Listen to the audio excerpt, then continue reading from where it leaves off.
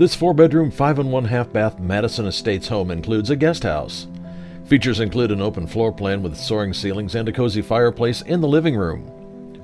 The chef's kitchen has upscale stainless steel appliances and a large granite island with a breakfast bar. Upstairs is an enormous bonus room with a private covered balcony. The backyard is ideal for relaxation and recreation with a fire pit, barbecue, and a sparkling pool and bubbling spa. Come see it in person with Steve Yeoman and Brenda Fitch.